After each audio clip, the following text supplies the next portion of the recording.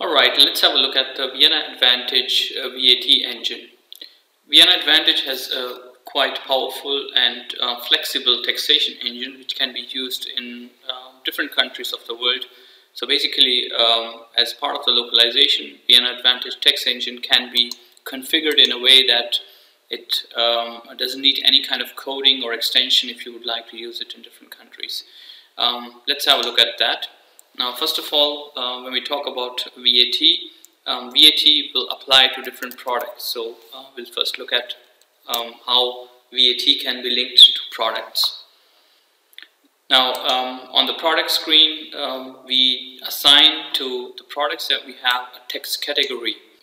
The reason for that is that um, with, with one product, there might be different taxes which could be related in a way that if you, for example, sell the product in within your country, the tax might be different. If you sell the product in another country, the tax, the VAT will be different or might be exempted.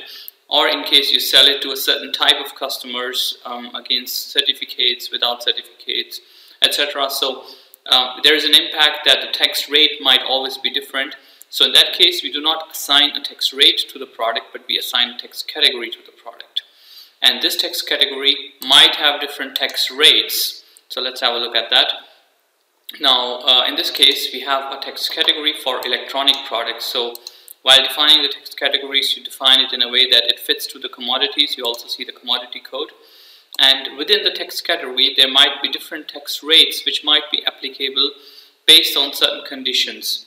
Now in this case uh, I would like to show you that uh, we have built here different tax rates within that tax category. And uh, let's have a look at that. So there are there for example is um, a tax rate which is um,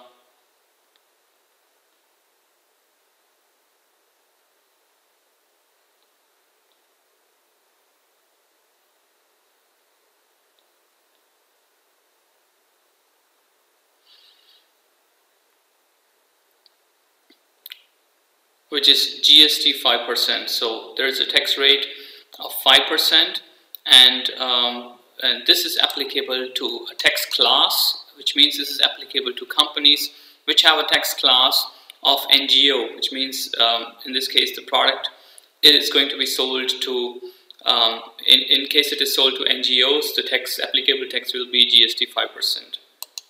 Then there is another condition here um, that the tax base will be location based um, where um, in case we sell the ship to address is, is, is Switzerland, then there will be 0% tax in this case. So we are able to configure based on various parameters, so which includes um, what is the document type, uh, which means, uh, for example, there are certain document types based on which taxation might be different, um, which includes, for example, um, in uh, FNB, where if you uh, take away something, the same item will be taxed in a different way than if you um, dine in, etc. So the taxation might be different.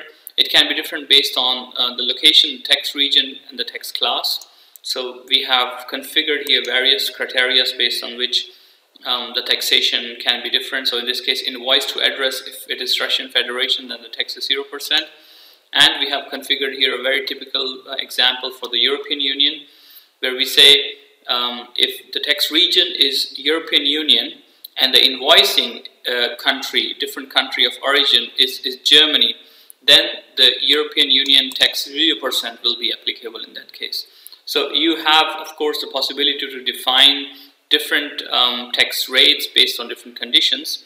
And what we also can do is that we can have a multi-level taxation, which means you might have a tax um, and that tax um, has a child tax or certain tax has a parent tax which means uh, tax on tax so we are also able to cover um, different um, levels of taxation so that the parent tax can be linked to a tax so that in the end multiple taxes can be calculated in the same shot.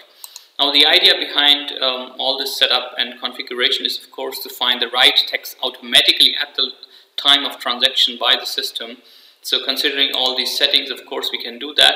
Now it may happen that multiple conditions apply at the same time to, um, to a transaction, which means the customer might be um, an NGO and it might be in Switzerland, etc. Um, so in that case, of course, we have the possibility to set up tax preferences. which means what is the first preference, what is the second preference to be given, what is the third preference. And, um, and if none of the text uh, preferences apply, what is the default text to be taken in that case? So, so we have, of course, all that configuration which can be used to define the right taxation.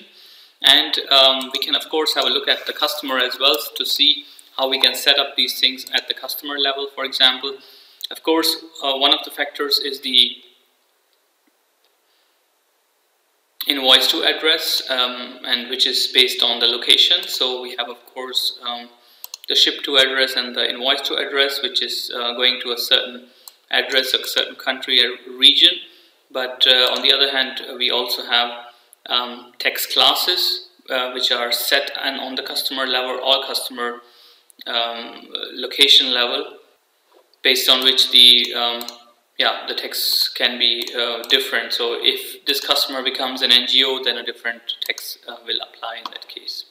Now, apart from, of course, calculating the tax, Vienna Advantage also has the capability of, um, of uh, calculating the tax declaration. So we have a tax declaration window where we can do the setup, um, how the tax declaration will happen, what are the settings, how, what are the periods in which you do that, and after doing the configuration you are able to get the result in terms of how much tax is due in a certain period so um, basically all these uh, capabilities are, are available in Vienna Advantage. And then we have plenty of standard reports which allow you to um, look at your taxation details in terms of buying or purchasing etc just looking at uh, one of the taxes so just um, to show you also um, what are the different settings that you can do on a tax rate itself which is there is a name, um, there is a validity date, so um, you can also set up the validity, then requires a test tax certificate or not, so that of course will have an impact that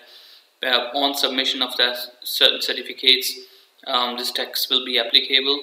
Is it a document level tax or a line level tax? Is it a sales tax? Is, is it applicable on SO side or sales order side and purchase order side? So both sides. And then of course there's a percentage.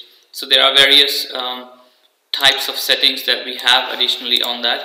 Now in this case we have picked up um, summary level text which means um, this was the other one. Now in this case we have picked up the summary level text which means um, this is a parent text which is used again in another text um, as a parent whereas multiple level calculation is possible.